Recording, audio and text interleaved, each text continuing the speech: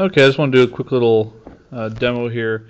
Uh, this is uh, this is the hobby harp, uh, is what I'm calling it. It's basically a uh, it's basically a homebrew type of a light harp that I designed so that people can uh, easily build their own. And so I've published all the specifications and diagrams and plans and everything for this thing, the source code, and it should be relatively easy to construct one of these things.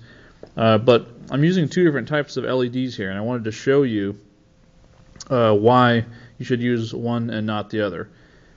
Over here we have these uh, reddish or orangish ones are 5.5 thousand millicandela or 5.5 candle power um, LEDs, and those are the 5 millimeter variety, the smaller type.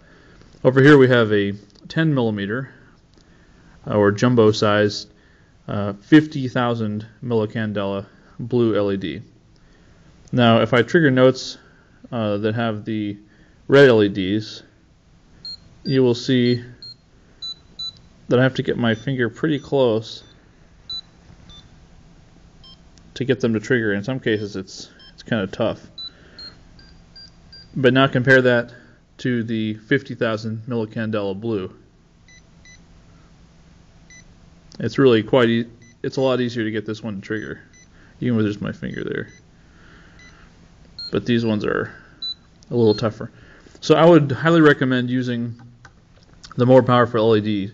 The problem is uh, that the, the 10 millimeter size takes up a lot of space on the breadboard.